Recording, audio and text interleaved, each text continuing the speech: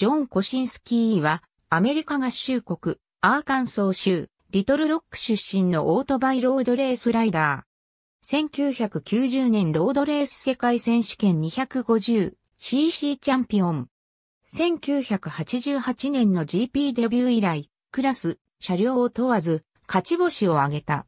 コーナリング初期からコーナリング中、脱出とすべてにおいて、まんべんなく速く、かつ接戦にも強い。ケニー・ロバーツのライディング理論を完璧に体現してみせたヤング・キング。また身長が低いことも相まって大きくリーンインしたフォームが特徴的である。すべてのアメリカンの例に漏れず、幼少時よりダートレースを開始。アマにおいて 250cc クラスで活躍しつつ、1988年から1989年は全日本ロードレース選手権及びロードレース世界選手権へのスポット参戦を行う。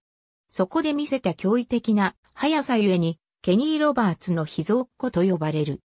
1990年、満を持たして、ロードレース世界選手権 250cc クラスにフルエントリー。7勝を挙げ、圧倒的な強さでチャンピオンを獲得。翌1991年 500cc クラスへとコンバート。一勝と表彰台4回の成績を収め、振動ぶりを発揮する。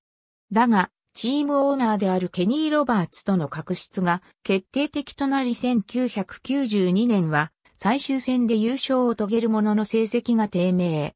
放出の浮き目に合う。1993年は新規一点、ラッキーストライク鈴木チームのエースとしてロードレース世界選手権 250cc クラスにエントリー。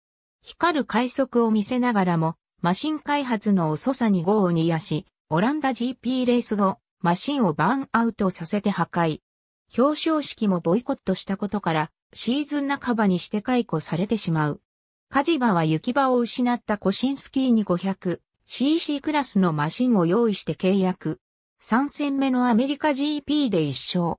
翌年1994年はカジバからフルエントリーし、上位を争うものの今度はカジバが GP を撤退してしまう。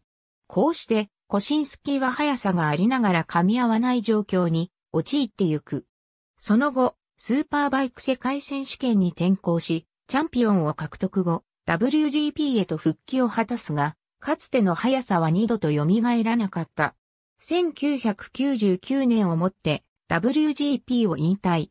もう GP を走ることはないと吐き捨てて GP シーンを去っていった。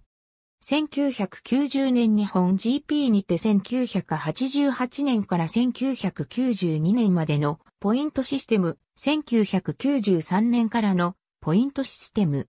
ありがとうございます。